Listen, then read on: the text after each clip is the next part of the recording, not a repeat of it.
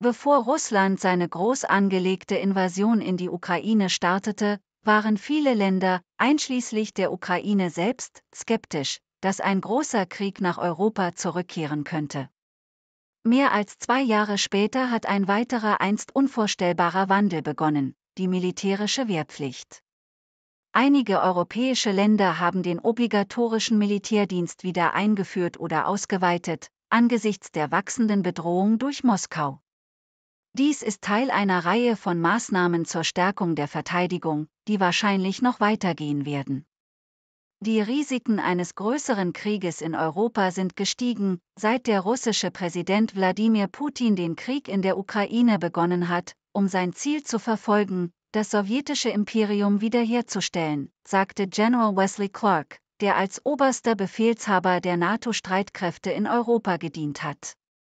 Wir haben jetzt einen Krieg in Europa, den wir nie gedacht hätten, dass wir ihn sehen würden, sagte Clark, der die NATO-Streitkräfte während des Kosovo-Krieges führte. Es ist unklar, ob dies ein neuer kalter Krieg oder ein heißer Krieg im Gange ist, fuhr er fort, aber es ist eine sehr starke Warnung an die NATO, dass sie ihre Verteidigung wieder aufbauen muss. Diese Bemühungen beinhalten auch die Wehrpflicht, so Clark. Eine Reihe europäischer Länder hat nach dem Ende des Kalten Krieges die Wehrpflicht abgeschafft, aber einige Länder, insbesondere in Skandinavien und dem Baltikum, haben sie in den letzten Jahren wieder eingeführt, hauptsächlich aufgrund der russischen Bedrohung. Die Vermeidung des Wehrdienstes kann in einigen Ländern zu Geldstrafen oder sogar Gefängnis führen. Lettland ist das jüngste Land, das die Wehrpflicht wieder eingeführt hat. Der obligatorische Militärdienst wurde am 1. Januar dieses Jahres wieder eingeführt, nachdem er 2006 abgeschafft worden war.